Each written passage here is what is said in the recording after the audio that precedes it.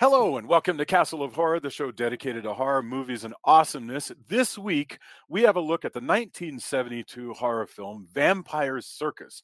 This is episode 435. Bear in mind, if you haven't seen today's movie, we're going to be talking about it from the perspective of horror fans who have seen it. So, warning, spoilers ahead from Denver, Colorado. I'm your host, Jason Henderson, Castlebridge Media publisher. With me from Austin is Deserts of Mars frontman Tony Salvaggio. Say hello, Tony. Howdy. Howdy. Also in Austin, Halloween Man comic creator, Mr. Drew Edwards. Say hello, Drew. One lust feeds the other. One lust feeds the other. I love it. And finally, also in Denver, attorney Julia Guzman. Say hello. Hello, but I'm not finally. No, that's that's correct. Because finally, finally, we have a very special guest. Now, this writer, I'm going to do this without saying this person's name. This writer received the Tony Award for his play Red, wrote the book for the Tony Award winning Moulin Rouge.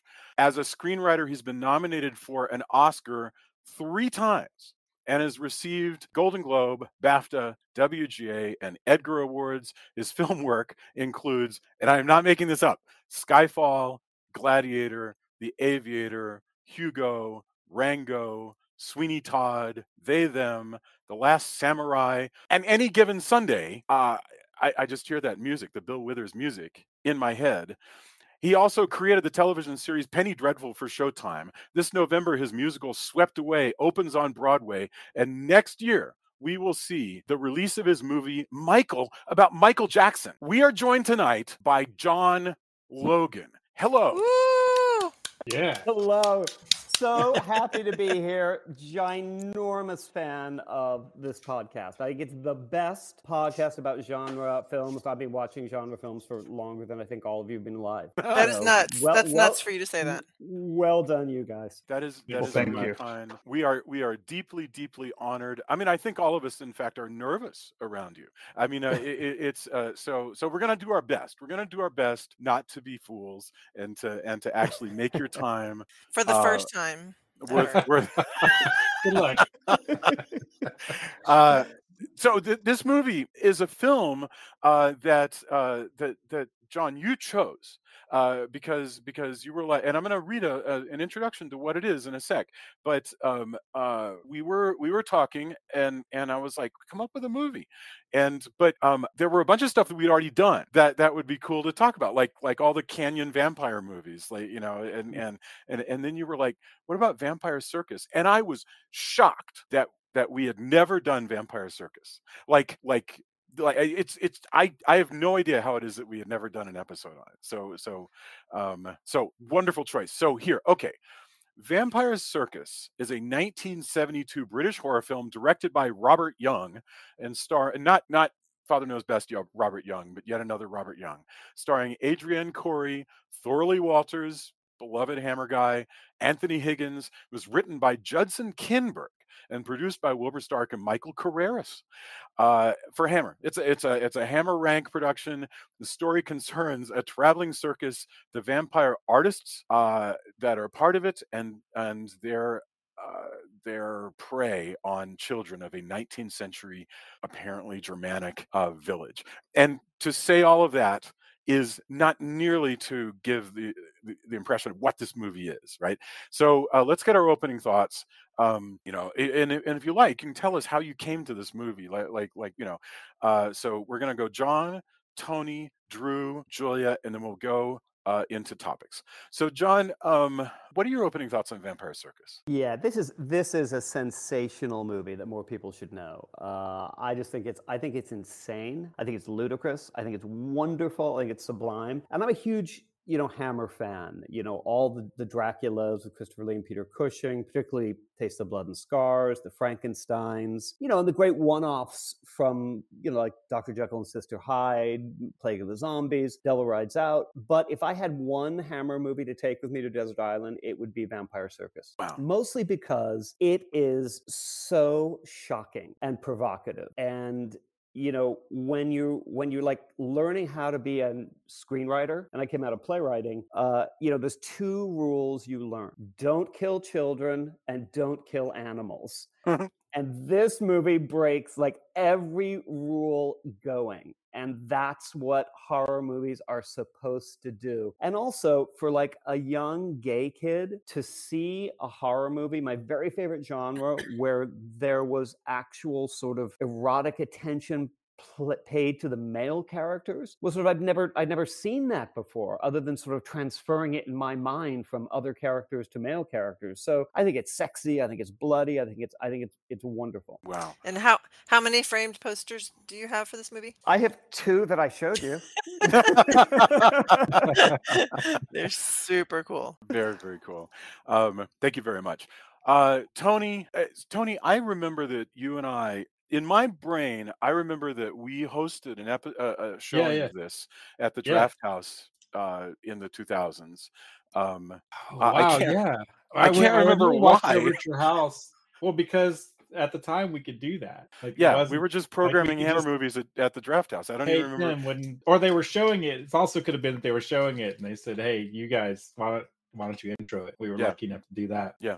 Um, I know we watched it at your house too, because Yeah. I think that's the first time I saw it. Uh, was you know hanging out and we were both into hammer horror probably while we were writing blockworks possibly It's possible. I think it was when we were working for Electronic Arts. Honestly. Oh, I think it was, like, maybe. way back. yeah yeah yeah Yeah. i guess that that would fit but um yeah but that and it just blew it blew my mind at the time um you know it was at a also at a time where a lot less stuff was readily available on Yeah. video so you kind of had to search for it a little bit more and i just yeah i it's fantastic um everything you said john plus i just love how interesting and lurid and, and just the the tension that's there too because you have a, a town trapped between these two plagues an actual plague and a plague of vampires and how they're dealing with all of that like there's they packed a lot into this movie Yeah. it's pretty amazing uh you know fantastic performances um the interplay between all the people who are the others and this town and kind of who's evil because you oh, oh well they're being set upon by vampires but they're also readily you know they're, they're all too ready to to whip a woman for her transgressions and burn Yes. down a, a man blow up a mansion right so there's there's all the seedy underbelly of a town as well um yeah it's there's a lot to discuss and there i they packed it to the gills There's so much, it's, yeah. it's just amazing in that respect Drew, Mr. Drew, what are your thoughts? Well, uh, I had a weird winding road to finally seeing this movie. When I was in high school, our high school drama teacher, Mr. Cody, had a very large poster of this this the vampire circus poster in his office and for the longest time i assumed because i knew I, I had you know knew what hammer was and i'd seen you know a fair share of hammer movies. I'd never seen vampire circus but i had a vague notion of what it was and i just assumed that this mean meant that uh, mr cody was a horror movie fan. So one day uh, i i kind of worked up the nerve to ask him about it and he was like oh i've never seen this movie. I just think the poster was funny. Um so Huh. That in my head started building this movie kind of up Yeah. you know just having to look at this poster all the damn time so when i when i moved from possum kingdom to dallas uh i i finally was able to obtain a copy of this movie at uh, a place that is no longer there uh but is called forbidden books and forbidden video and you know it was a mixture of a video store and an occult bookstore. So it was a fascinating little little place. And I fi- when I finally got around to see it, boy, howdy, did it ever live up to to that poster. Like it's everything that Tony and and John was saying was it's lurid, it's gory. In in, in many ways, I think uh, you know, when people think about a Hammer movie, they're probably thinking of a lot of the stuff in this one because it's it's got all the like sexuality and gore that you know not necessarily like the early 50s hammer movies uh have. Uh i also love the fact that it that it uh has these sort of art house elements and and you know some throwbacks to to silent movies like nosferatu and things like that. There's just a lot of of wonderful working parts in this movie and i just you know it every time i rewatch it I, I I I agree with John. I don't understand why this isn't talked about more in the conversation. Uh, when when people bring up Hammer, uh, this is this should be talked about more because it's it's a really fabulous movie. Thank you very much. Uh, Julia, had you seen this movie before? Well, I was going to say, in part, and you can blame us because we haven't covered it. I can't believe we haven't covered it in all these years. That's yeah. crazy. It's just, it really feels like it, it, should have been one of our earlier earlier films that we covered um, because it is classic Hammer and it has uh, it has all the classic Hammer elements, but as John was saying, it also defies a lot of the rules. So um, I thought it was really interesting. I, I liked how it looked. I liked, um, you know, for me, I've said this before, the nudity is excessive. I was like, okay, okay, we get it. Although the naked dancing, you know, tiger chick or whatever she was, that was pretty cool. yeah. But uh, she was painted. Um, but I thought, um, I thought it was, I thought it was well done, well acted. Um, I really liked that some of the choices they made were really daring. Like I, I I said, um, I can't believe that the actual actor is fighting off a torch with a sword, and the torch is like in his face. And then at another point, he catches the torch with his hand.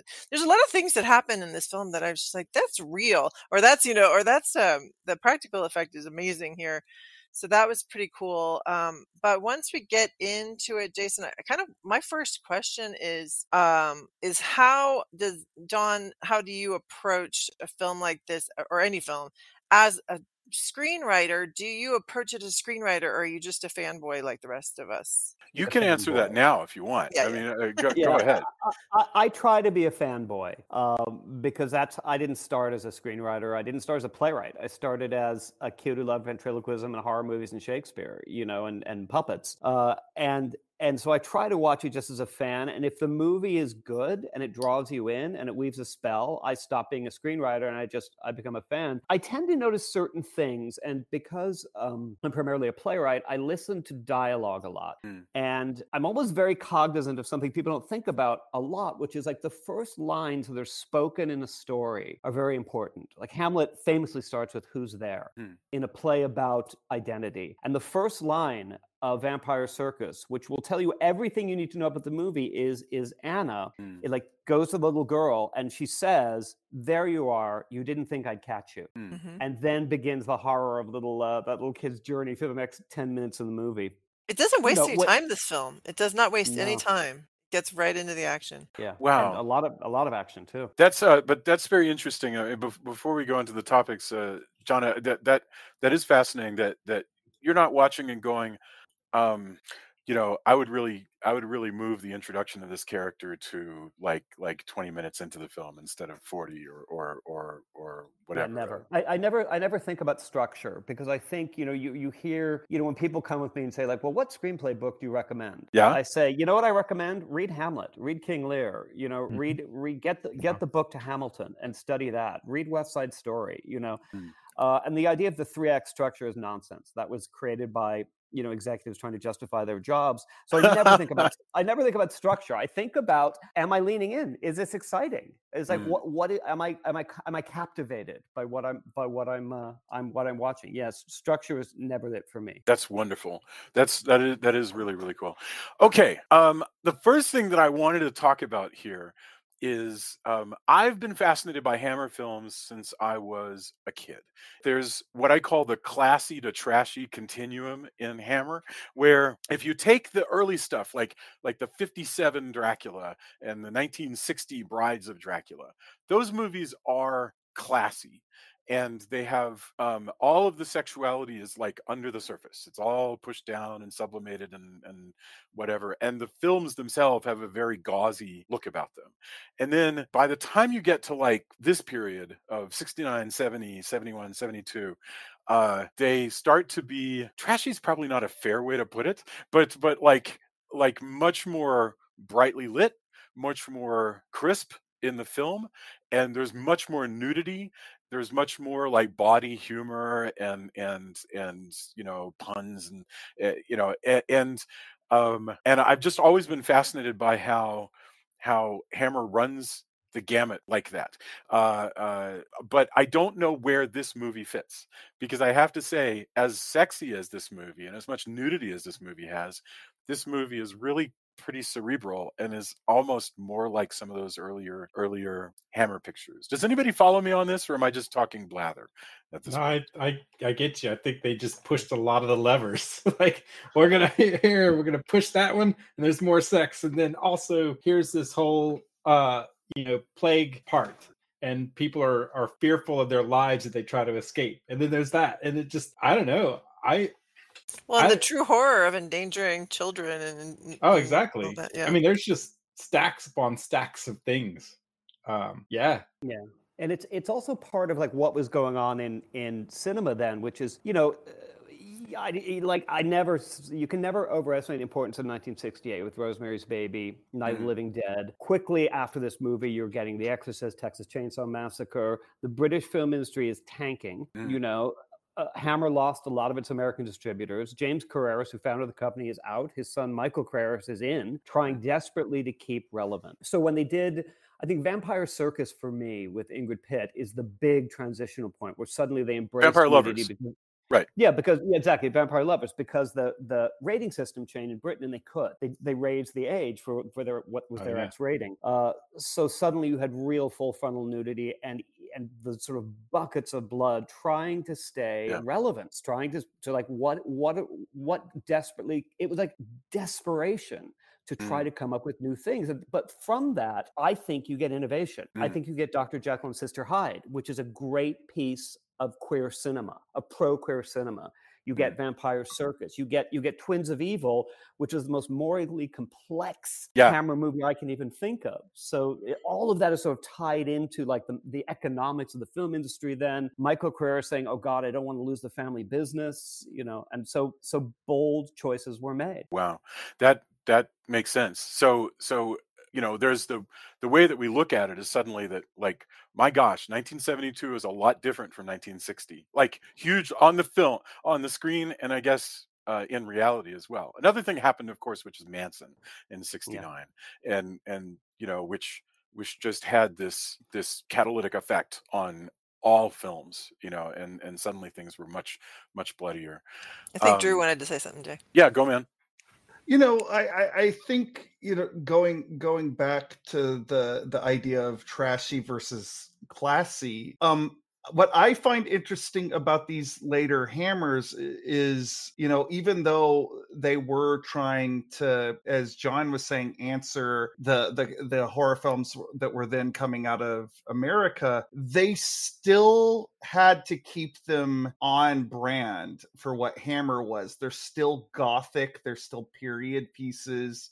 You know, there's still counts, there's still angry villagers, there's still Yes. all these like classic horror movie tropes that go all the way back to universal and that's Yeah. because you know even though they were mixing up the the brand you know they they it still had to be a hammer movie uh, Yeah, you're right. and, and i think that's why these are so fascinating is that you know they've evolved uh you know the sort of formula that Terence Fisher started way way way back with with Dracula. And um you know I I like you know movies like people can, can contain multitudes. Like something can be both luridly sexual and luridly violent and still be cerebral at the Mhm. same time. And I think that's one of the reasons why I you know I always like once I watch one Hammer movie, like if it's been a minute, I immediately like after I was done watching with this, I had to really fight like, oh, I could go watch the reptile like Hell right yeah, now. man. I could watch Oh, Captain love. Kronos.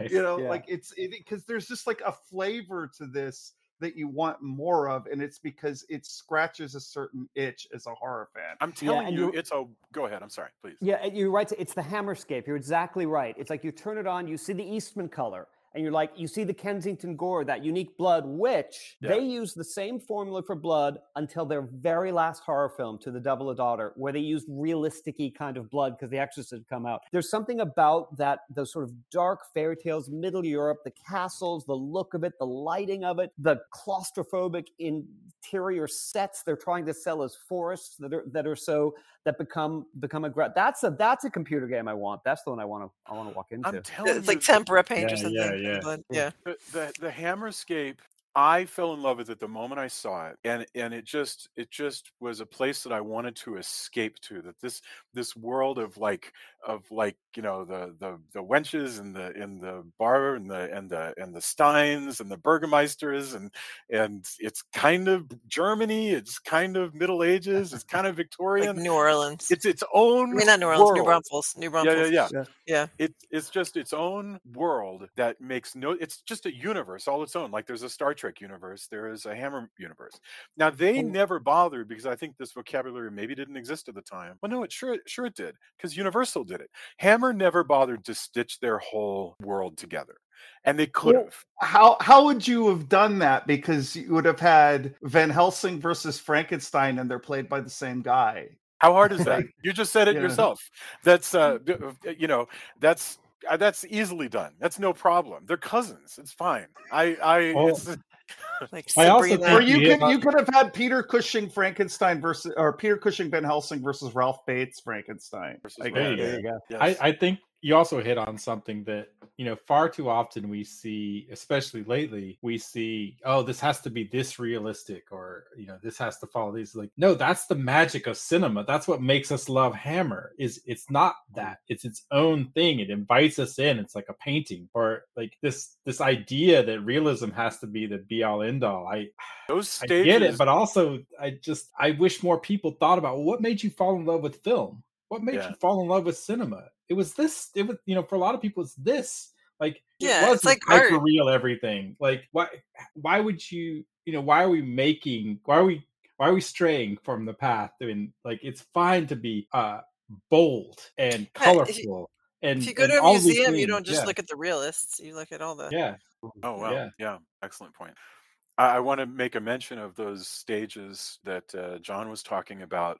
You know, they'll they'll I mean, like often they are outside and, and in the trees and stuff like that. But there is a special look, especially when Hammer is presenting like a ruined castle. And I'm thinking about in Vampire Circus and in Lust for a Vampire and in another a few other movies.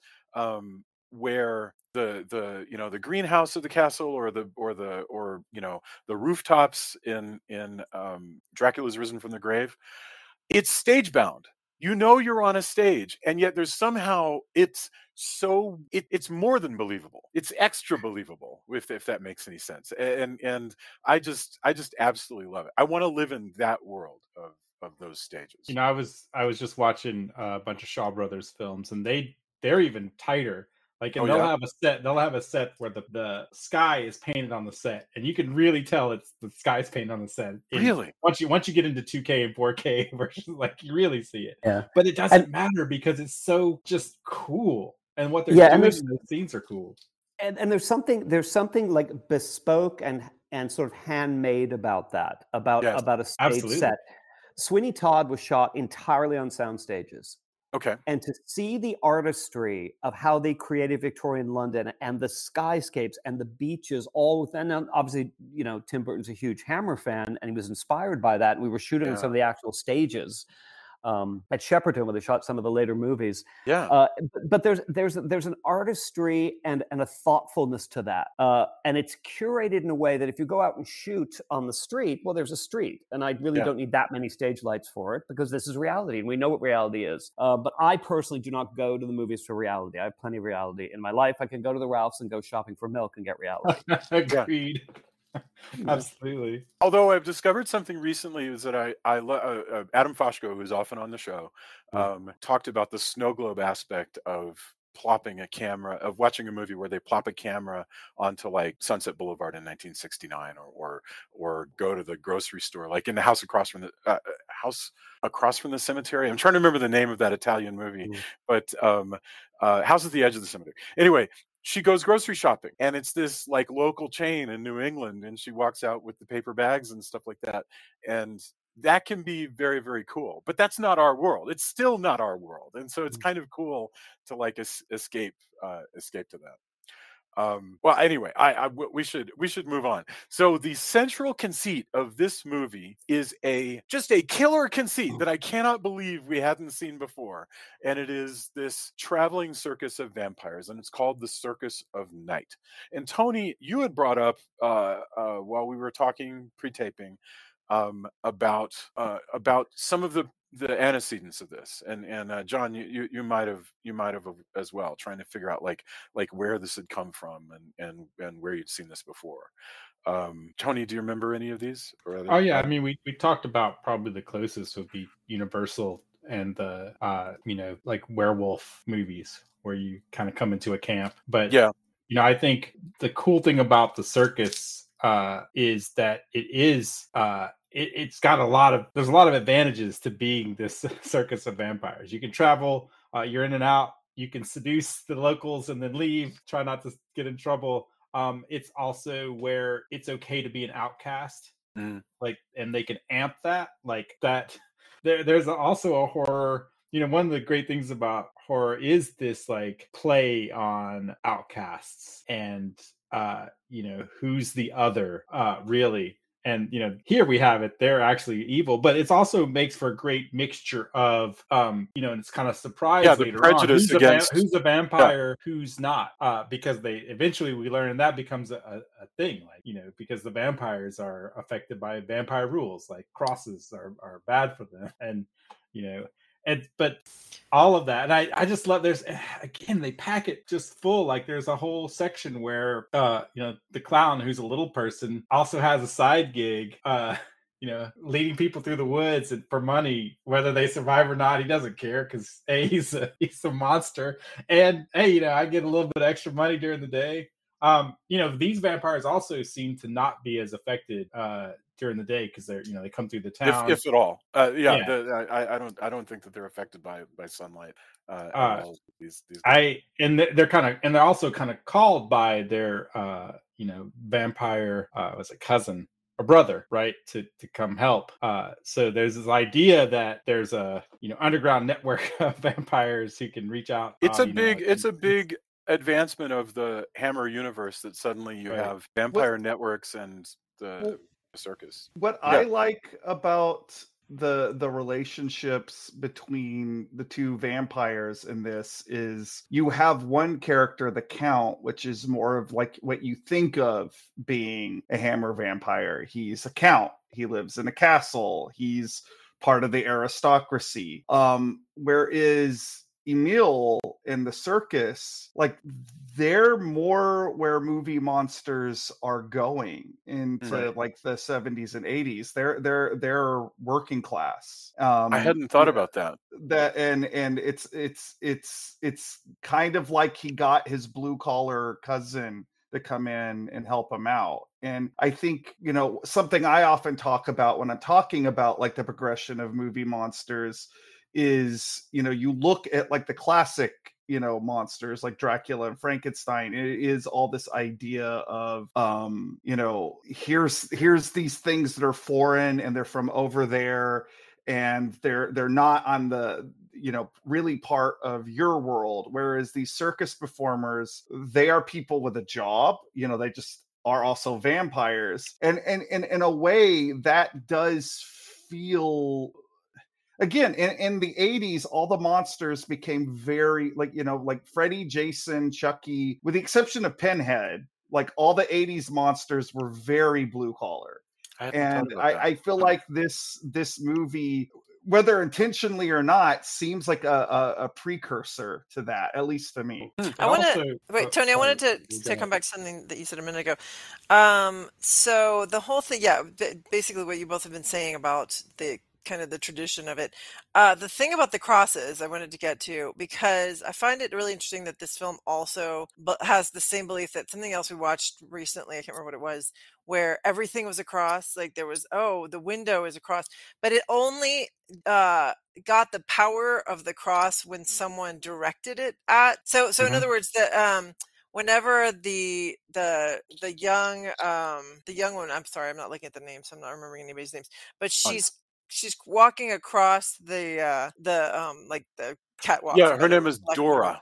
Dora, Dora thank the, you. Of the, course, the I, kept, of, I kept I kept talking about how she was exploring things. The daughter uh, of, right. of Mr. Mueller. Yeah. Dora is walking up on the um the uh, I forget the archaeological. I mean, the, oh my god, I can't. I'm tired. Obviously, the architectural term or the kind of the catwalk in the church or whatever, but it's the big beam.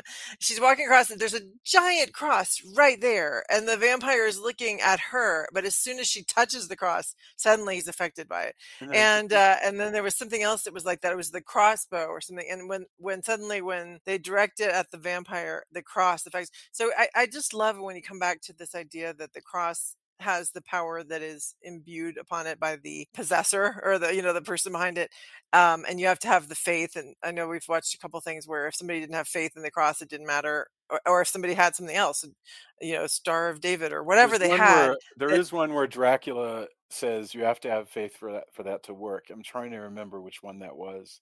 That might have been in Taste the Blood. It's not a Dracula. it's Fright Night. Oh, really? Yeah. Yeah. Go ahead, John. Yeah, So uh, I think building on it is is is the question of what where what is and this is relating to everything you were saying. What is what is the what is the power structure of this movie? Because normally it's like it's the church and it's the and it's the old white men and it's the burgomaster and it's the it's civilization and the monster is threatening that by being foreign, by being a bloodsucker, by being gay, by being a person of color, by being a monster. That is not the case in Vampire Circus. In Vampire Circus, the townspeople are repellent. They're horrible, you know, and like you know, the ritual humiliation they put that woman through in the fir- in the pre-title sequence makes you absolutely loathe them, no matter what their motivation is, and they remain repellent and suspicious and racist against gypsies, against all these people. I think I think subtly homophobic against Emil as well with his with his beautiful diamond choker. Um, so the question of what's the established order that we never questioned in the original Dracula, the early 60s uh, Hammers, would never question the church in something like Devil Rides Out, is completely questioned here. Yeah. Uh, because the characters who we, I think, are fighting for in a way are not the insipid kids. It's like these misunderstood vampires trying to get revenge and stand up for themselves and be sort of unique, oddball, the oddball creatures they are, admittedly with certain needs and hungers. Well, it's like the, this is the point in these movies where you've now got two cults of kind kind of equal dignity that are sort of at war with one another, like like a, a couple of gangster families or something, where the movie's not choosing sides over who's necessarily. I mean, they'll put their thumb on the scale, but the vampires have good reason. In Twins of Evil, Peter Cushing is a horrible person you know even though in the end the vampires are going to get killed because that's the kind of movie it's going to be but um you're exactly right it's a it's an alternate cult really Well, and the movie does not take, like you said, does not take sides. It is, it's a morally ambiguous thing because when everybody is beating this poor woman, um, it's because she's adulterous, maybe, but also she's with a vampire. So, like, well, kind she's of adulterous as, but it's the vampire thing probably more than But I'm saying, actually good no, question i don't that's know what I'm saying. I think that we, as uh, that, that's why I think it's morally ambiguous because I think as we, as the viewer, are supposed to go, well, I mean, she is kind of vampire I don't know if she's a vampire yet, but she's in it with them. But they don't really know that. They're pretty much just beating her because of the adultery. no you're right just- you're right it's a it's they're appalled by the sexuality of it But Yeah. but it's not there's a great i mean it's it's terrible in the movie but there's a great piece bit of acting where you see the one guy who all of a sudden they cut to him and he is ready to like no no we need to beat her and he Yeah. his face Yeah. turns and he's It's just this better repellent- this he's like the, everything Yeah. Horrible about this Just town looking for an excuse. you just yeah. embody it in that face and you know the actor does just such a good job of turning that and you're like oh it's so repellent but it, it is where this town is at at the moment but And what's what strikes me about Ah. that is it's like well, by the time this movie is over, because we're we can do spoilers, you know, the young lovers who are innocent um, are almost the only people who survive the whole movie. like like there are some other extra random extras around at the end, but all of the main characters, all the vampires and the town folk, um, the town leaders are all dead except for young Hans and his lover Dora they are you know they're, they're the only pure ones basically who who who get to who get to survive the film so that's the film kind of agrees with you john that everybody Yeah. Kind of deserves to be dead Yeah, by the end. it, it's the most 1972 ending ever because it was like, it, eh, for, forget it, Jake. It's Chinatown. You know, Yes. it's like literally. There's so many bodies around the crypt at the end. The guy like doesn't know where to walk to move through the set. It's, it's, like so like, great Oh my Troilus gosh. and Cressida, they're all dead. And then, then, but like the actual, what's the final flourish at the end of the movie? Genius. It's a bat flying away, Yes. as if to say this story goes on. Yes. Yeah, I wish, man. I mean that I that wish. I know. I know. There's a remake that I should be writing right now, as a matter of fact. well now it would be a Lego sequel where you would just sort of retell it and then and they go I, I don't know it's ip i mean it's 50 Yeah. years old but you know better It than counts. nothing um The anton I, I just want to mention that kid uh um and young anton is um played by john Moulder-Brown now this guy i only know from one other movie and it's a movie that tony and i watched during covid which is la residencia or the, the house that screamed which is one of my favorite Yeah. mid-century Italian Spanish Eurotrash horror. It is so good um, about somebody who is killing these girls in a boarding school somewhere in Spain or Italy. It's hard to tell, and and and it's and the payoff. It has a payoff that is fabulous, and this kid is great. Uh, he's he's really good. I don't know what became of him. I I'm just a philistine. He probably had a wonderful career. I don't know anything about his career, but he was really good in these two horror films. So Yeah. yeah. Uh, the, one of, one of the things I really like about this movie is the doctor character who is basically trying to cure the the rabies plague Yes. in this town. And in any uh, if he was not in a horror movie he would be right. He's like there's no such thing as vampires. You're you know there's there's rabies. It's caused by bats. You are all superstitious i'm going to the capital peace and then when he comes back like he disappears for basically the entire movie and then he comes back and he's completely changed his tune and Yeah. I, that that cracks me up this movie has more story than it knows what to do with. Yeah. well, and the scene when the doctor goes away is interesting because the whole thing is that the town has this plague, and so they've been um, uh, I, they've been cut off by by the neighboring towns. The roads have been blocked, and so nobody can leave. So the doctor's going to leave, and his son um, is is going to be a distraction, draw the gunfire from these crazy again the crazy all the crazy town folk the, the people in the other towns also are looking for any excuse to shoot somebody. So Yeah. they're like oh hey somebody's coming near us. They start shooting at him and uh, he's basically like you missed and then they're like shoot some more. Um, so the doctor the doctor rides off and i guess they don't shoot him for some reason. Um, but then the the circus comes into town and everybody's like why how did you get past the um the roadblocks and i still don't exactly know because you know the the um the little person ca- shows them kind of a shortcut through the forest but the whole circus didn't do that they so i'm wondering Jedi mind if powers. I mean, yeah right, is it exactly. jedi mind powers or is it Yeah. that the neighboring towns were like oh no we don't care who goes in we just don't want anybody coming someone someone referenced earlier in our, our pre-chat uh, something wicked this way comes the great ray bradbury book i think it's i think which is one of my favorite 10 books i think it's like that i think it's an enchanted Yeah. carnival it's like the Yeah. enchanted train that comes through in at midnight and doesn't really exist yeah. and then suddenly it's there and offering temptations the other thing that's crazy about that the circus of night is like people are getting slaughtered left right and center and the town keeps going back to that circus like every night i mean Well, i know know they don't what? well it's part of the same connection. magic it's part of the same Yeah. magic no because- i think it's just that it's a shit town and there's not much to do It's both. But but if you lived in a small enough town, it's both. It's the seduction part because it's it's the other again, and also there's nothing to do. So when the young girl is like, "Mom, why can't Dad doesn't want me to go with the actors, please like the circus please." people, like." And you know there and there's a history in musicals as well, right? The, the you know, hey, what's Absolutely. with these actors? And also in real life, Yeah. like why why actors and troops were kicked out of towns and stuff because oh, you're still our women, you're still our men, you're still like you know that that No, you're it- totally tale right. as old as time in that respect. And so when she's just, I don't, and she's full of hormones and angst at her age, and she goes, "Why won't you let me go out with this actor?" And the mom is kind of like, "Well, you know, he's."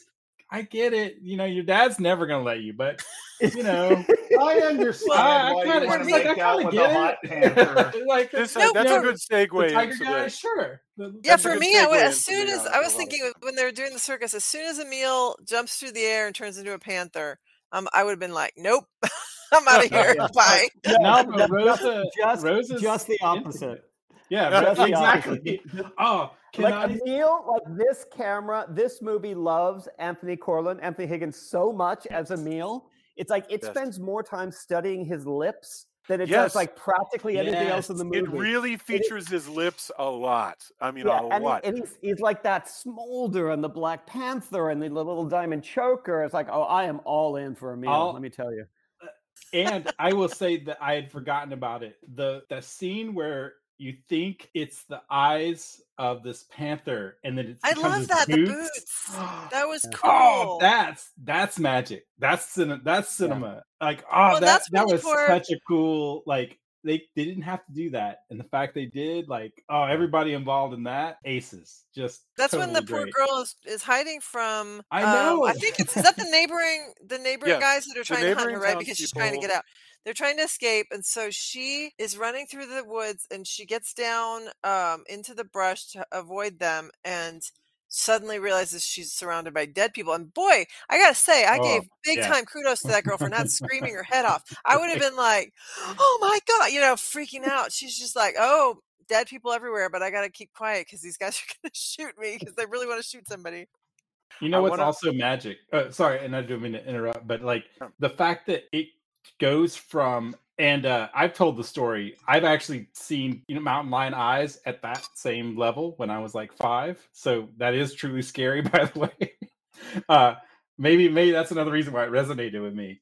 But this idea that that panther is so dangerous, and when it's it's revealed, it's still more like being like the fact that it's a vampire is probably more dangerous than the panther and just that subtext that everything about that just great so yeah john you were saying that Well, I, I just wanted to uh, uh, steer us to the next topic, uh, which starts with Emil, so that we can spend a little more time on him. sure Uh, but everybody, which is just the sexuality of this movie, 'cause I think it's the thing that resonates with people the most um, after they see it. You know, when Dracula 2000 came out, and that was was that was that who uh who was the star of Dracula 2000 now? Um, uh, was Was it that Russell the Gerard Butler? Butler one? it was Gerard Butler, but it was Gerard Butler playing Anthony Corlan uh, as as uh, as Emil. Everything with the puckered lips and the and the the, Mm. the big painted eyes and and everything He the way he moved. bored half the time. Oh, he's he's so uh he's so like they even do this long thing where uh the girl is brushing her thumb across his lips and everything. Just the sexuality of this guy. He's the Ingrid Pitt of this movie. And that's really interesting. I mean, John, to your point, that is like like like Christopher Lee was never sexed up this much, you know. yeah, this is a it- new you know, thing. look as a as a lifelong horror fan from the time I was like I can first saw like Barnabas Collins when I was seven. It's like I'd never seen queer horror until I saw Vampire Circus because I I thought the the as we talked about earlier the gay gaze was very is very satisfied and yes there's an abundance of female flesh there's also an abundance of male flesh Mhm. that's that's treated in a very sensual way with Count Mit- Mitterhaus in the in the first opening And, scene and with David um, slash Dave Prowse. Yes, all the way through, and muscles. is. Yeah. yeah, and and it, and and nothing more so than than Emil, the character of Emil, who's presented as sultry and powerful and and sort of lethal in that sort of really bad boy way with those like ginormous rattlesnake, you know, teeth. Uh, you know, and I think that's revolutionary for horror in 1972 revolutionary uh, and maybe i'm reading into it because i'm gay and and I, I I was so desperate to see that sort of imagery in my genre but watching the movie again and again and again reading the script and having a bunch of copies of the poster you know it's like i don't think so i think there was an awareness even if it's even if it's a uh, subtextual awareness of the filmmakers that there's a change in the air you know stonewall has happened you Mm. know and and there's there's a tremor going on that's going to lead to things like sunday bloody sunday and and sort of serious treatments of, of queer issues that is beginning to infect and the horror genre in a really i think glorious way uh, in this movie That's amazing. I I was I was thinking about the only antecedent antecedent I could think of where a male vampire was presented, even anything close to this attractively, was the guy in Brides of Dracula, uh, the who's who's who's forty years old, but he looks way younger than Yeah. forty, and he's and he's blonde and he's pretty, and and he has that sort of slow and uh, uh, uh, sort of ironic way of talking. Like he's way more. Uh, uh, th- th- there's just something a lot more expressive about him than Yeah, and that's that's David Peel who played. it. That's completely true. But but that movie is a completely heterosexual presentation of romantic sexuality. In Mm. Vampire Circus, in ways that are sometimes disturbing, there is intimacy between, for example, Heinrich, one of the two like uh, gymnastic twins, and the boy he's about to murder.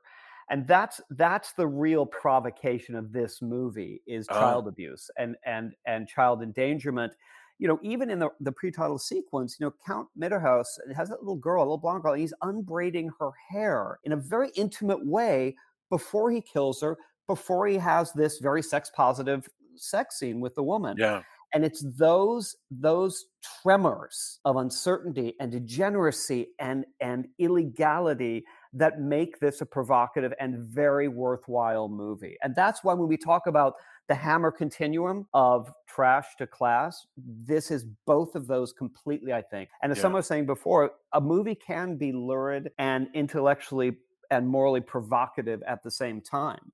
You know, Yeah. and I, and you know, in my work, that's exactly what I tried. That's Penny Dreadful was exactly about that. Every Yes. episode, I I tried to do something outrageous and to to sort of walk that vampire circus line. Do you think that the movie thinks that um, puts the sexual predator, chi- child predator thing on the same level as everything else? Because it kind of feels like it does to me. Uh, because you have Anna in that same scene you were just talking about, where the count is unbraiding her hair. Anna's getting fully turned on by that. That's and right. I'm just like, and, and then right. also, you know, like you said, the boy later. Um, it really does seem like it just kind of goes. It's all the same, you know, vampirism, you know, child predator, bestiality. If you're considering that all these people are also animals, um, homosexual, all of it. It's all the same. It's all. It's all just you know hedonism, or I don't know. There seems to be something like that. Yeah, I mean, it, it, it's that it's deviance versus whatever the hell is the opposite of deviance. But I don't think like- it, I don't think the opposite of deviance is in this film, except well, maybe the the, the youths that make it to the end. I guess the purity, purity. yeah. is what it is because they also you have the villagers who want to beat the crap out of everybody and the other villagers who want to shoot everybody so yeah i think that is that Well, the, it's important to note that the the the kids that survive, the the boyfriend, he isn't so quick to judge the circus people. Yeah, so right. he he does toe that middle ground of of uh. I, I, don't want to say liberalism and conservatism because I don't think that's what's such a modern on concept. Yeah, Progressivism? I I don't. I don't even know I- what you would say. Yeah. Uh, open-mindedness i mean i guess i don't Sure. Okay, sure. Yeah. Wow. Uh, I I one of the reasons I love the sexuality of the Hammer movies, by the way, and and this is one of the most complicated ones, is I think that that sort of strange tension goes all the way back to even movies like Vampire, uh, like Kiss of the Vampire in 1963, where Mhm. there's you know the vampires are in the parlance of the movie the vampires are evil and yet they're obviously sexy. If you reached a point if you went forward in time enough that they were just an alternate way of living you get rid of the tension and it's not as interesting. There's something more interesting when when there's a temptation to go with a vampire as opposed to if it's just if it's just a so uh, which is which is completely different from how we think about human sexuality and human behavior. But in in in uh in these fairy tales the excitement is in that in that tension of whether these are bad guys or whether these are good guys and and it switches back and forth. It's just like Do constantly you have to be bad to be sexy. Sure. Yeah. yeah. and that's the and that's there in the cautionary tale you Right. know of like ooh, ooh be careful who you think is sexy be careful how how how nice though that choker looks because these are dangerous people so how far are you willing to go Right. you know that's that's the challenge Yeah. Going with the bad boy is a story. Going with the circus performer, that is like the stuff of Tom Petty songs. That's the, that's a that's a an American story that's been around probably there's probably a version of that in colonial times. it's the stuff of dateline i mean it's like pe- oh, literally Actually, people get the themselves Highwayman was a version of that. Come to think of mm-hmm. it, the highway it really does go back to colonial times. I I I also you know talking about like the forbidden fruit aspect. I mean, I think that's one of the reasons why there's all sorts of horror adjacent imagery in in the fetish scene and in the S&M scene. Like you you like though you know if you have an S&M sex room, it's literally called a dungeon, which is of course at the bottom of every great vampire castle. Um, you know, Yeah.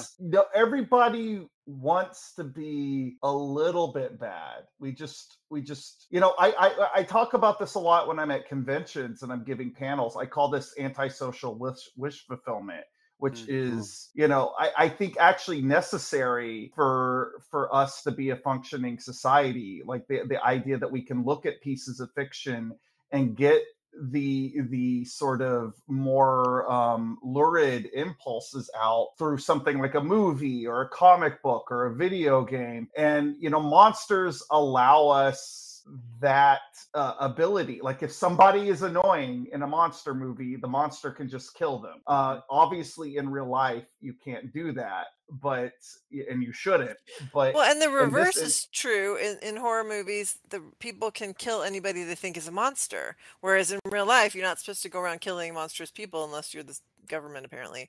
Um, but you know, so um, that's that's the thing. It's like I always say that it would be interesting to write. Uh, I the, what I want to write. I don't write really, John, but I always pretend I'm going to.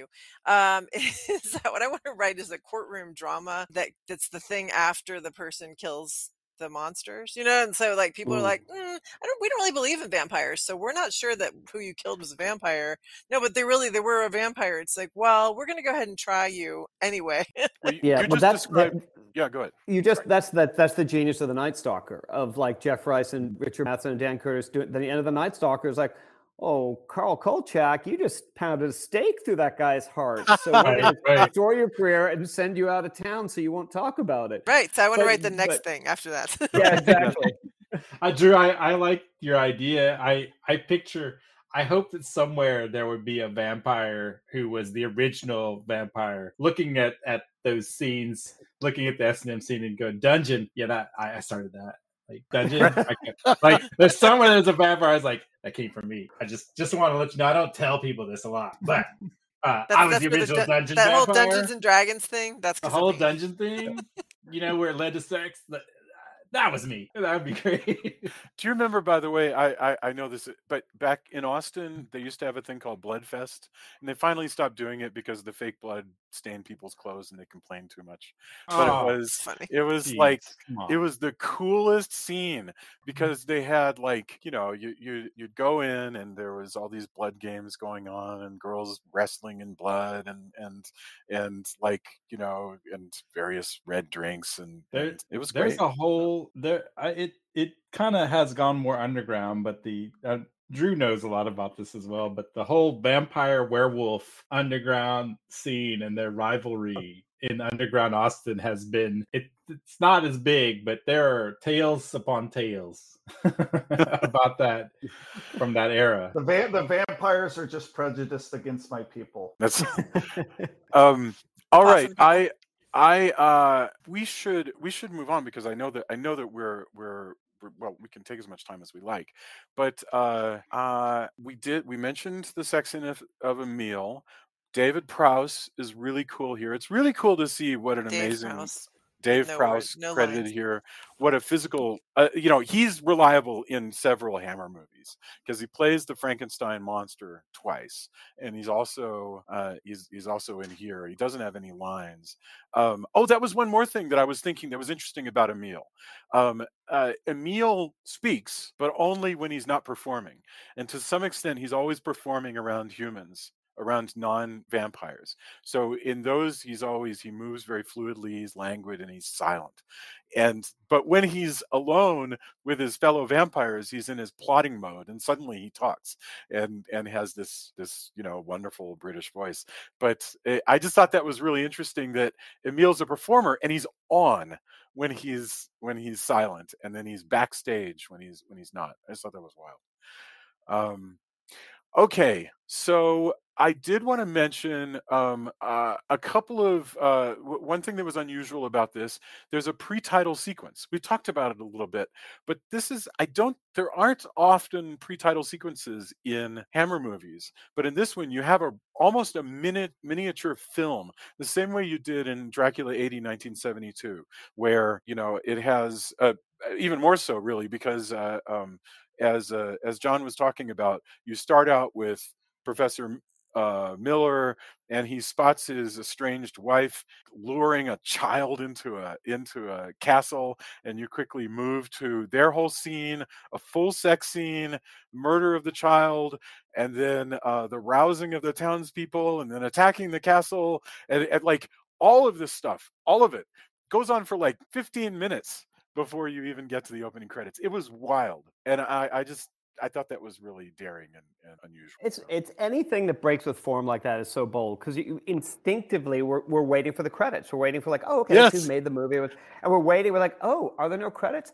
I remember the, the first draft, you may know this, of, of the Exorcist screenplay that William Peter mm-hmm. Blatty wrote. Like the credits came like 40 minutes into the movie, suddenly stopped. Wow. And it was like The Exorcist you know, by William Peter Blatty yeah, and it's, it's, that idea. I love things like that because it's so bold that you're just you, you, because you're almost you're almost you're made nervous waiting for the form of cinema you're used to, yes. and you're not getting it. Like when you go to a Bond movie now, you're like, let's see what they do in the pre-title, and it's sort of expected, but yes. but not in a movie like this. No. Yeah, no. So that was that was really really cool.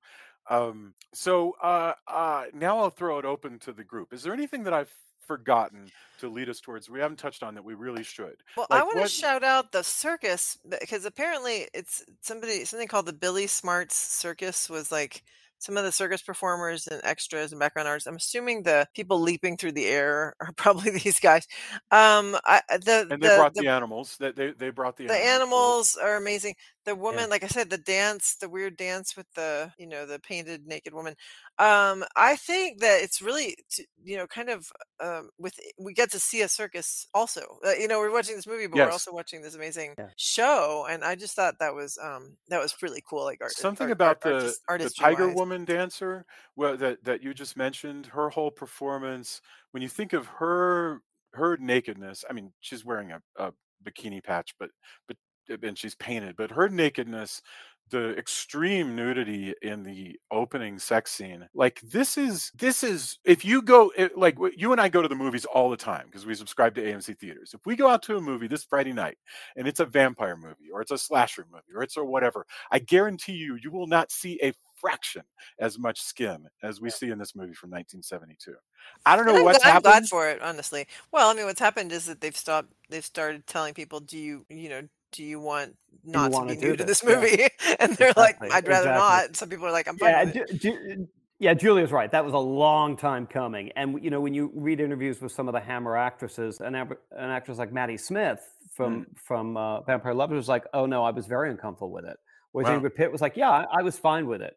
But nowadays, Maddie Smith would go to the, you know, uh, intimacy coordinator or the director and say, I'm not comfortable with this. We have to figure something else out. It would happen. But Julie, I want to hop on one thing you said, which is about the, the dance. Mm. You know, so so the, it's the first performance of the circus. The townspeople are just saying, oh, it's a circus. What is this going to be like? And they stop the movie for this S&M dance routine yes. where the woman is painted like a green tiger and the, she rips off the man's skirt and it's very sexual and he's wrapping a whip around her Meanwhile, we're, we're cross cutting to a tiger having an orgasm that's legs twitching in the cage.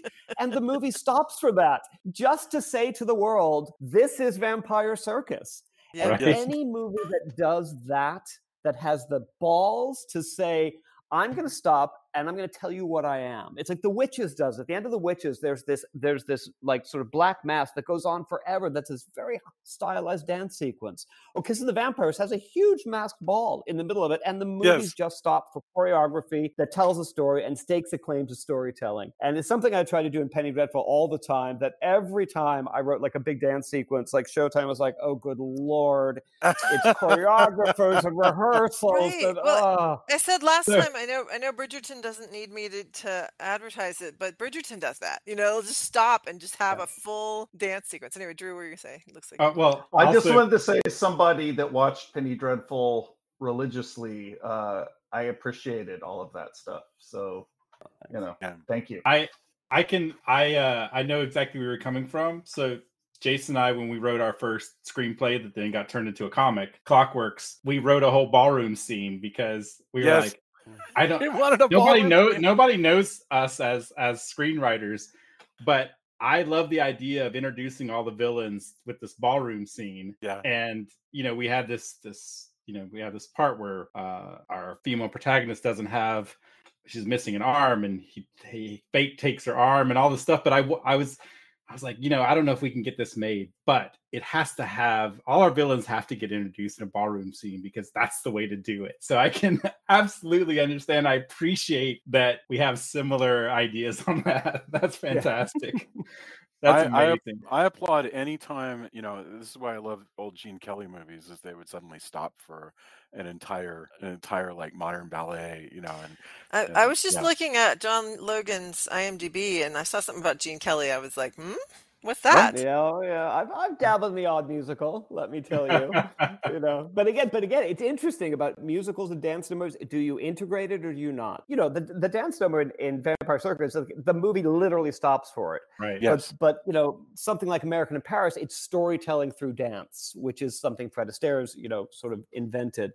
And it's it's you know like you, Jude. I love musicals. I love working on them. I love exploring them, and and you know. But again, it's it's the boldness of the musical form, like the boldness of a really good Hammer film, that I love more. Than, I just love boldness. It's like there Mm. there there are two kinds of playwrights. There's a Chekhovian playwright who can who can break your heart with reality and like a shattering of a teacup. And then there's a Shakespearean playwright who will who will shoot for the fences and fail and be dramatic and large. Uh, I that's that's what has always excited me as a dramatist. I heard you say that once. Uh, uh, with Julia and I watched you in a, lir- in a in a lecture, where where you said something about like go for the big line, basically, like Yeah. like you know, and it's such a such a wonderful piece of advice. It's like Mm. because it fits with something that we didn't hear you say, but we did hear you say earlier tonight, which is forget about form, go for go for the story, go for the effect, and something that you said in your lecture is ultimately your only test is whether people are responding to it whether it works you know whether Yeah. it's it's a yeah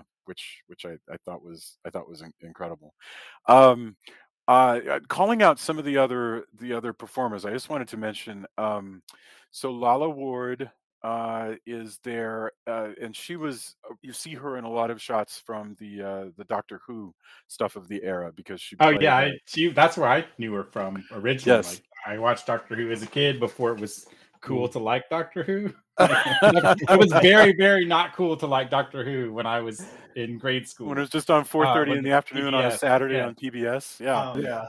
but I remembered her. I mean, when I first saw this, oh hey, you know, this is this actress who I you know knew through Doctor Who. She's great. She's always fantastic. Uh, it was very cool to see her, uh, and just her.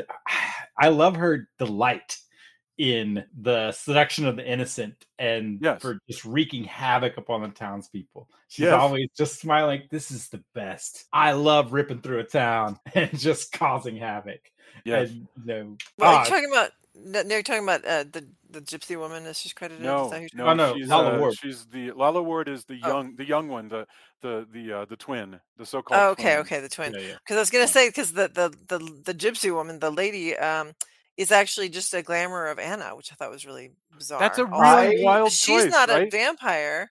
No, I find that really interesting that she's not necessarily a vampire, but she is supernatural in the way She's that not a vampire because she's but- the one who's able to rip off the Right. cross. Yeah. No, I'm saying though that she still is kind of supernatural despite not being a vampire because she is a kind of almost shape shapeshifter Yeah. of sorts. I I I you know also find it interesting that you know her her choice of a guise is an older I mean not old old woman but an No, older but you're right. woman. Yeah. Yeah, Yeah. She's the I- mom. I- She's I- the mom of the circus. I, I jokingly call her uh, circus cougar when we, Yes. were, when we were watching it, but The like- cougar with the panther. How about that? yes, the cougar with the panther. But um, it's it's it's it you know she's an interesting character and be, eh, you know period because she's the count's lover at the beginning and then he kind of sends her off on this this mission to get his redneck cousin to come revive him How kick-ass And- a line is that, by the way? When he says, "Go to my brother Emil." Find the Circus of Nights. That's like that's like the beginning of a Hitchcock movie. I mean, that's like that's As like he's it's so, dying. it's so But the- great. Yeah. She took 15 years she's been hanging out as as Yeah. this this fortune teller ringmaster woman for 15 years it's she took her time i mean i guess time is relative if you're a vampire but And you're Yeah, dead. you know yeah it's, it's yeah, she's it's- also she I she's also incredibly strong. Yeah. Like that character is a rock. And again, uh, shout out to a dramatist who says her very first the first words she speaks, they say, "What are you doing in town?" To steal the money from dead men's eyes. Yes. Like I could Nice. die happy if I wrote a line like that as the first line of a, of a like a powerful gypsy woman in the circus. Well, and the, wrote the glee with which she she's like this is what we do. Like just there's like this powerful just like yeah this is us. Ah that is There's- fantastic. the way that she delivers a lot of her lines are this this sort of open mouthed just salivating kind of uh, you know she's she's very excited. She's she enjoys what she's saying. And she reminded me a lot you know john you wrote about martine beswick and in uh, in dr jekyll and sister hyde. Very much the same thing. A sort of every line feels knowing and and and multiple meaninged and ironic and and Well, the the ring the ringmaster version of her is way more interesting to me than the sort of young cheesecake, you know, hammer glamour agree character that we have in, Yeah. in like she's she like she just draws your attention and Yeah. uh you know like and and the woman honestly like she's older but she's she's very striking like like she oh and she no yeah no, no doubt her about it ringmaster yeah her ringmaster co and everything. I just I, I love everything ab- about like in a in a perfect alternate reality where people cosplay uh hammer characters instead of Deadpool. I would I would see bazillion people cosplaying this character. Agreed. Oh, sign me Oh yeah, Yeah. yeah. No, she's she's amazing. Um, so that I oh, and I I finally I want to mention Thorley Walters, who is like one of these guys like Michael Ripper, a wonderful character actor who shows up. Uh, you know, I thought that I remembered him from a lot of other stuff, but I mainly remember him from Hammer movies. Like like, and this is you know he's he he's always fun he's always reliable he wears stupid wigs it's it's so neat to see the hair pieces they put Thorley Walters in. So that that was that was really cool. Um, so we should we should wrap up. What what an what an what an interesting film. I find it interesting. uh, Before we go to our final thoughts, John, you said that this is one of your favorite. This is your your Desert Island Hammer movie. For me, that would be Brides of Dracula. What I think is interesting is that that these two favorites do not feature Peter Cushing and Christopher Lee, which is sort of the Peter Cushing's the ultimate parent. Peter Cushing, yes, but not Christopher Lee. In other words, there's all of these. There is no World of Forms rock solid perfect hammer movie like that has all of the elements. Like it, you never you never get everything to line up. You never get both Peter Cushing and Christopher Lee and um you know the the original uh, uh composer and and and all that stuff. You never get all of it. But so many of the films come really close to having all that stuff that you want. Um, anyway, okay, let's get our final thoughts and hit on anything that you like in this. Um, but uh, I, I, I just can't tell you how how delighted we've been. And, and John, I'm sorry that we've been falling all over, all over ourselves. Uh, um, uh, so, all right, um, John. Uh, Vampire Circus. What, what do you? What do you? What? What's your wrap up thoughts? Yeah, I mean it's it's um it's not for all tastes, you know. It's provocative and shocking in a great way. It's also it's also so ghoulishly fun. But but I find it mesmerizing because you know it's it's it's Hammer, it's Fellini, it's Pasolini, it's it's it's this weird amalgamation of of cinema sort of at that moment that's very exciting. And you know, in, in a world where we're more and more constrained by what we can say, what we can show, uh, not wanting to offend, the boldness of this movie, I applaud to to the heavens. Wow, thank you very very much. Uh, Tony, what about you? yeah i i've enjoyed this since you know we were hanging out and watching this, and I think that was my first exposure. But rewatching it and just seeing the layers and layers of just cool stuff the just extremely lurid visuals matched by just fascinating bits of both acting and screenwriting. Um, I I put this up. I am so sad I don't own like the disc of this, and I need to fix that Mm. immediately. That's the one thing I saw last night. Like, why don't I have this? Is there a Blu-ray of this? I, I don't even Uh, know. I, I think okay. there was a more recent Yeah. one, if I'm not mistaken. I forgot who put it out, but I remember it came across, and I don't have it, and that made me sad. Uh, you know, but it's something I definitely need to own because it is just it's it's fantastic. Uh, you know, like I said, layered, um, great performances, also influential. Like I can't believe that. I mean, it could happen, but I want to say, like for example, the village slash circus that's in Vampire Hunter D.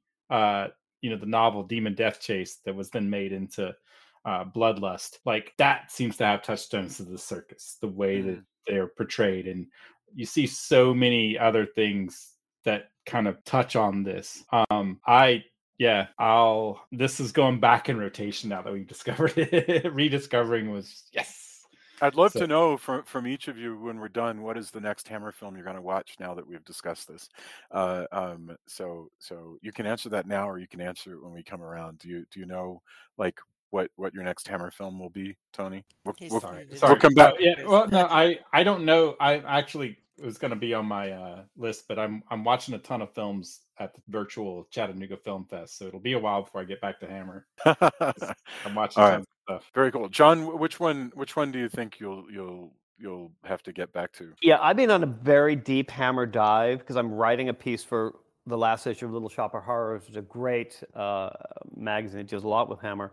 Uh, I've sort of fallen really in love with Plague of the Zombies, and I Mm, think I'm going to go go back to Plague of the Zombies because to me, the single most frightening moment in any Hammer movie is the appearance of the first zombie at the tin mine. It, I, it, Hmm. it still terrifies me to this day. So that's next up for me. that's That's great. Wonderful. The That's cool. Cornish, the Cornish horror plague of Yes. the zombies. Yes. um, uh, Drew, what about you, my friend? What are your final thoughts, and what's your next hammer? Well, first of all, we didn't talk about it, so I'm gonna just say it. As a gorehound, this movie has one of the best decapitations Mm, in Oh yeah, any movie. The hero decapitates the count by putting his crossbow around his neck and firing it, and the wire decapitates him. That that is, is some next level vampire slayer shit, my friend. yeah. that is awesome.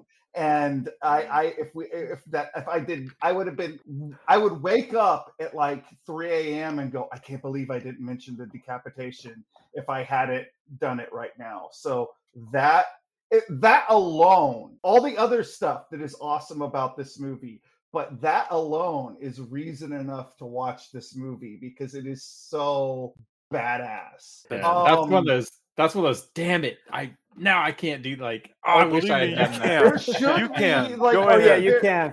Yeah, yeah. there there should be a a reel at Alamo Drafthouse of decapitations and that There, be there. I. I think there has been. Uh, there's a there's a fantastic fest best kills, and I think one of the best kills features would was Decap Attack. I think one year. I will have to look again, but I'm pretty sure that that's happened. I don't know if this was Decap one of Attack, them. this was not in it. You Right. need to you need to you need to put in a word. We'll, Um, we'll fix that. Yeah. The best Yeah, is David um, Warner getting it from the glass Next in, in the Hammer Omen, right?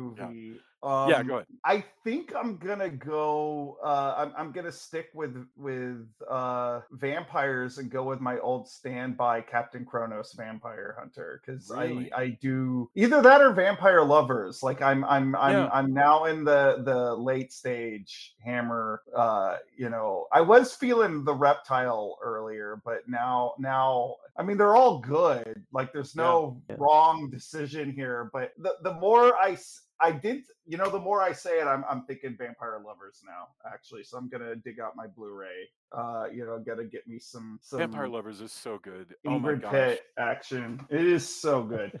Um, yeah. Uh, also, uh, you know what? I'll save this for for endorsement. All right, Julia, am I imagining that? Did you and I have sit and talk to Ingrid Pitt? Were you there? Was that was that us think at so. at Yeah. one of the at one of the shows? And, Yeah, yeah, and she was for talking sure. about escaping Hungary and and everything. What a Yeah. neat lady! I mean, like a really really neat, just wonderful lady.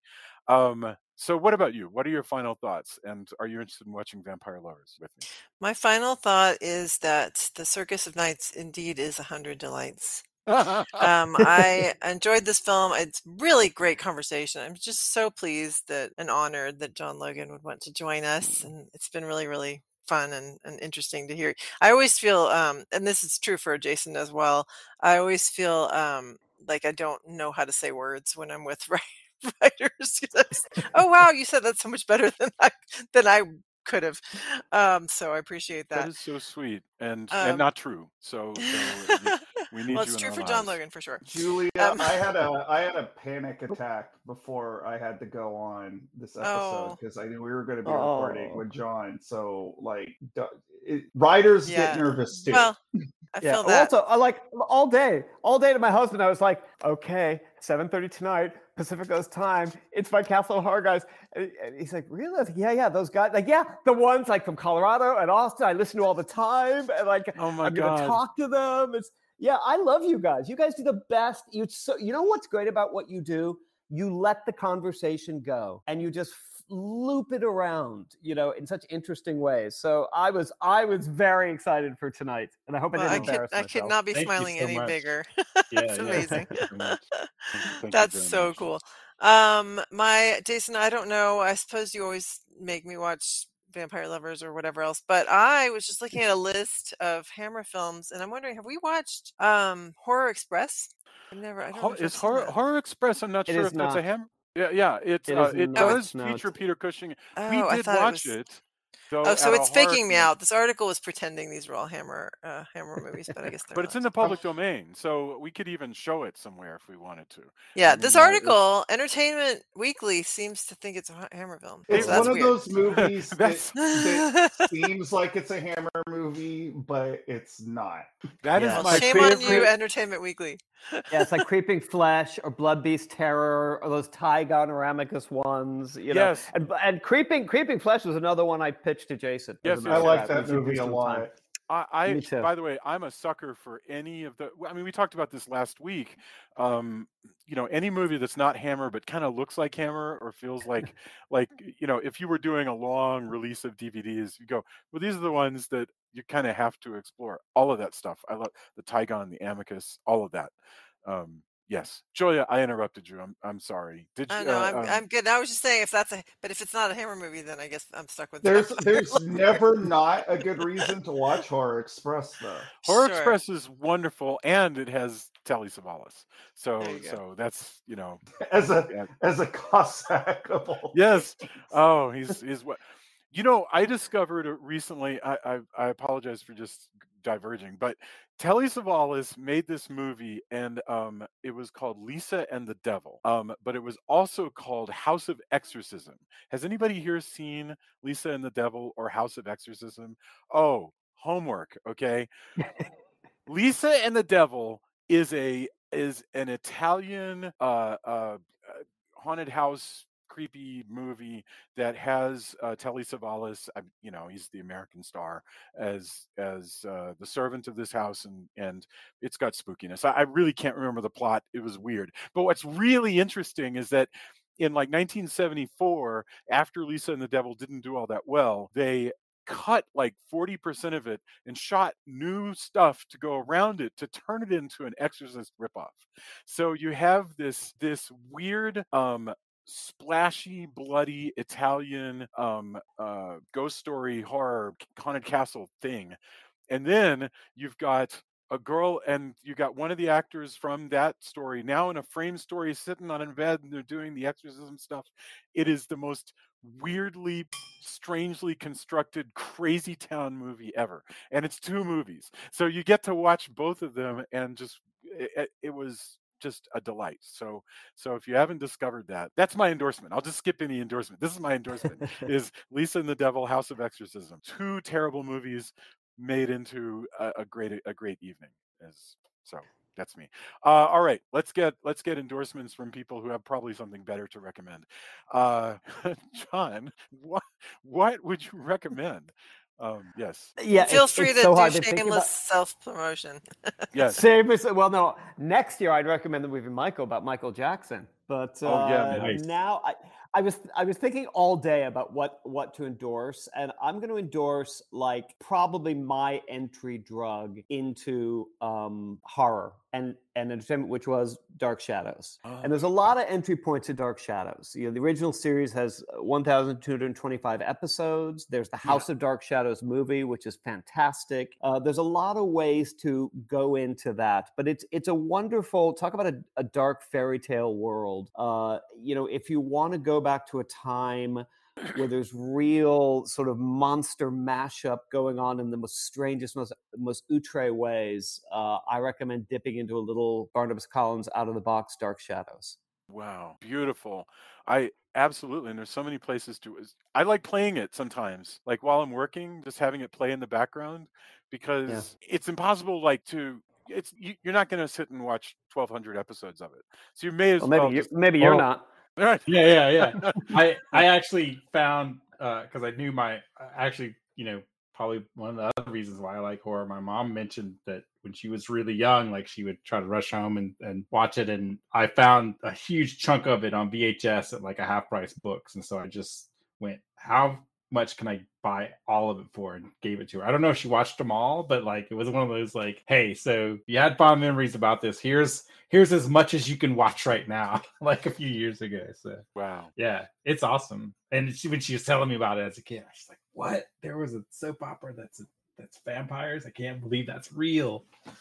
It's We amazing. did an episode on well, both of the Dark Shadows movies, but I Mm. kind of really liked the one. Um, uh, I guess it's called Night of Dark Shadows. uh, Whichever one is the second one with Kate Jackson, where where it's Yeah. not the Barnabas story, it's a ghost story, uh, and it's got David Selby and and and oh my god, it's such a wonderful like little 1970s gothic, and I just. I just love it. Now I want to watch that tonight. This is always this is always so fun. Okay, um, yeah, it's it's weird. You come out go ah. Uh, Tony, what about you? My big endorsement is, like I said before, Chattanooga Film Festival once again is having their virtual festival, and it's amazing.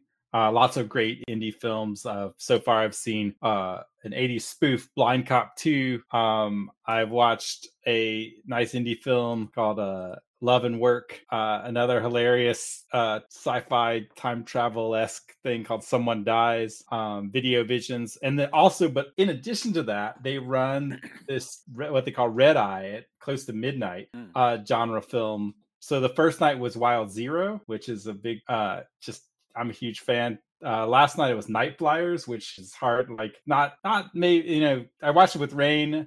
Uh, I had forgotten a lot of it, but there's a lot of cool stuff in Night Flyers, and also uh, I told Jason, I told you about this, John. I don't know if you've seen this a movie called Pin. If Mm. you are into ventriloquism, you need to see Pin. P I I've seen this. Uh, it whoa.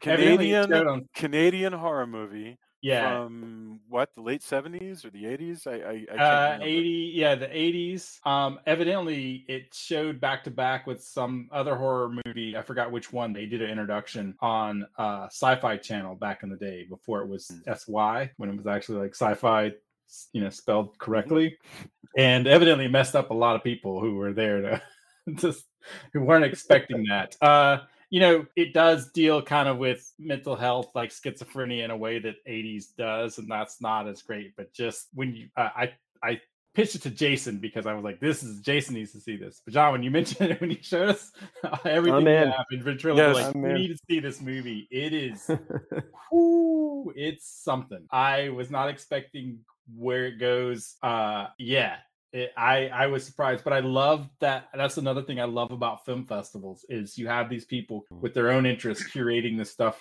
and and it recharges me. Um, I keep crazy vampire hours anyway, Mm. so these red eye every night.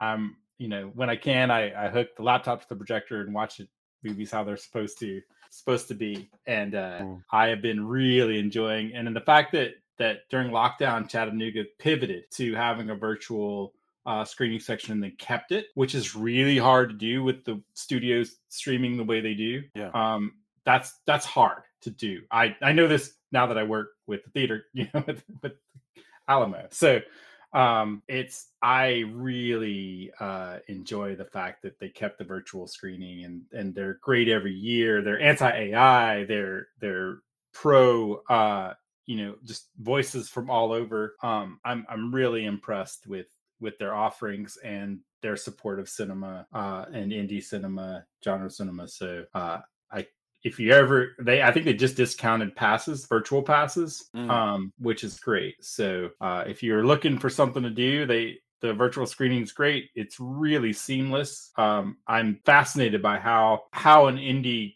you know a more independent film festival can do all of this and do it so seamlessly um definitely kudos to that whole group Well, we'll get this show up on up tomorrow night, and there's still there is a discounted pass for just the next the last few days of the Chattanooga Yeah. Festival. So that's that's really great. in fact Cool. immediately after this i'm gonna go catch whatever the red eye is tonight i'm about to go stream it Awesome, awesome. Uh, Drew, what do you have for us? Uh, a, a few things. Um, I first of all, I don't know why people are complaining about the season finale of Doctor Who. I loved it, so I'm just going to raise my virtual middle finger to all the haters on online right now. Um, when I watch Doctor Who, I one of the things I get out of it is that it's an essentially a even though there is dark stuff on it occasionally, it's an essentially an optimistic character. And as somebody that is inherently cynical, um, I find uh, that I I need that to get me through my week. Along those same lines, on Tubi, I've been going all the way back to the the unit era of Doctor Who, and I've been watching all of the uh, Robert Delgado uh, Master. Oh yeah, man. Yeah, Absolutely. Um, Yeah. I, I, I think I've pretty much decided after looking at this guy for um, you know several episodes that I think I could do, and if if I just shaved my beard back and like slicked my hair back severely enough, I think I could cosplay him pretty well. be I the to master. get the near, yeah, the the specifically. Del, Didn't he have like he had some? Did he have like like some little white streaks? Yeah, in- I would just have to yeah. streak it, but I have pretty much the same beard as him. Gosh, So, like, I, you know, that might be coming to a convention near you. Um, you know, I, I, I will talk more about this next week, but I am about to launch uh, an Indiegogo for Halloween Man. We've had some some financial hardships this year, so uh, we're we're trying to play catch up. Uh, this is a way fans can come in and help us out. Uh, like I said, I'll talk more about this uh, ne- next episode because we're launching it next Wednesday. Um, I I wanted to take a second though. Again, I I I I, I- I said that I was going to act like a normal person, but I lied. Um, John, I told you, don't start now. yeah yeah uh i just wanted to say once again how much penny dreadful you know meant to me specifically uh you know the the ethan on the show like i i you know i i relate to that character in ways that i you know more so than almost any other fictional character uh, you know, somebody that that you know, I have dissociative identity disorder, so I find werewolves to be very relatable characters, and he is my favorite modern werewolf. So I just wanted to say, I don't know if I will ever get another chance like this to say that to to some to the actual creator how much that character meant to me. And you know uh, there were you know sometimes when i was down that character got me got me through. So you know thank you. And in a long way to make this an endorsement if you haven't yet go watch penny dreadful Thank you. That's very that's very kind. Thank you for that. you're, you're very welcome And I just want to say, Drew, congratulations that you're going to be a dad. Jamie's going to be a mom soon. I know oh. you guys finally went public with that news, so congratulations. yeah and and she's going to be born on the full moon appropriate for for luna bella our our little gorgeous our uh, Oh, little moon Beautiful, my beautiful gosh. moon. Yeah. What a We're great so Lovely. excited Yeah. Well, she'll be she'll be born that day if she doesn't come early. I, I I I love how you guys think that she's just going to be like, yeah, sure, I'll wait till you're ready. Who knows? Babies don't We're- always want to we're- We're wait. thinking, we're thinking positively. All right, then. I will will also go- be positive. Yeah, we, we we we prepare. We're prepared if she comes early, but we're we're we're hoping that things go as planned. I guess. Uh, so far, Jamie's pregnancy has been, uh, knock on wood, a very smooth pregnancy. So Wonderful. you know, hopefully, it continues to be that way. Best wishes. Um, so I would like to endorse Jason. Am I allowed to endorse the movie that we just talked about with the director today? Is Oh, that You is that kosher? Endorse not- anything you like. Okay. The- Um, yeah, we talked to Robert Kiviat. Kiviat. Kivia, Um, today, Jason let me sit in on a Castle um, Castle Talk uh, Yeah. interview. Um, he created he's created something called the Mandela Effect phenomenon, and it is what did you say it was coming out July 9th? July like 9th. Yeah. Yeah. Um, oh my gosh, it was. I thought it was going to be kind of a cool, like pop culture, you know, thing about how um, people remember the Berenstain Bears as being the Berenstain Bears being the Berenstain Bears, or all those things, which is all in there. But it ends up being this really deep, intellectual, thought-provoking movie that explores like all these amazing. It gets into quantum physics and spiritual all this stuff and it's like uh, it's like one of my favorite movies which is what the bleep do we know um and so we talked to him and it was really fun conversation but and i just love that movie so i can't wait for everybody to be able to to see it. Um and then just before we close i wanted to say um john if you're ever in colorado you and tommy uh please let us know so we can take you out to jason's favorite um tiki bar the only tiki bar that we have locally. Yes yes. Yeah. Um that was that was a really really good time and uh thank you julia and and uh I, my endorsement actually is a book coming out that uh, we are the publishers of comes out tomorrow called vinyl wonderland which i am uh, by a guy named mark rigney. I'm very excited about this book because it's about this teenager working in a record store, a vintage record store in the 80s, because um, he dropped out of college, out of high school, and needs to make some money. And he winds up having to take it over when the record store owner gets sick. And it turns out there is a locked door with a Elvis standee in front of it, and behind that door is a tunnel to another dimension of nothing but miles and miles of junk. And whoever controls it gives you a rule that you can pick only one thing and it is whatever you need the most. And it is the wildest, most interesting sort of I didn't even know this Americana fantasy that I'm just very proud of and and and that comes out tomorrow so I'm I'm excited about about Vinyl Wonderland and that's um, that's that's it uh, and I'm going to take everybody's recommendations and I'm definitely going to play some more old school Dark Shadows because I want to um oh by the way John there's a there's a soundtrack that I found called something like Back at the Blue Whale, and it's nothing Yeah. but like the music that they play. Yeah, I have I have all of those right here. oh my god! Amazing, That is literally. awesome. Yes, Stacks that's great. It's embarrassed. I tell you, you come to California, come to Los Angeles, I'll take you into my horror room. awesome can't wait Wonderful. All right, fantastic. Um, this has been a, a delightful um, uh, highlight of our career, and and I'm so honored that you would join us. We're all we're, we're all honored, as as you can tell. But thank you come so much. Thank you, thank you for putting up with our nervousness and um and I, I I can't I can't wait for people to get to hear this episode. Don't be a stranger. Reach out to any of us anytime. Come to Texas. Come to Colorado. Absolutely. And uh, and good luck. Good luck with every. Good luck on Broadway. I know that I know that there's Thank you. there's Thank a you. lot And all of you, on. please, please keep. I know you sent some chat things, but I don't know how to respond to those. So please email me. Let's keep in touch. I'd be come back anytime. This is such a pleasure. Because I said I, when I first emailed Jason, I said, what I love most about your podcast is it's like hanging around with all those friends who love horror that I don't have. So I love, it's, it's incredible. It's great. Um, Well.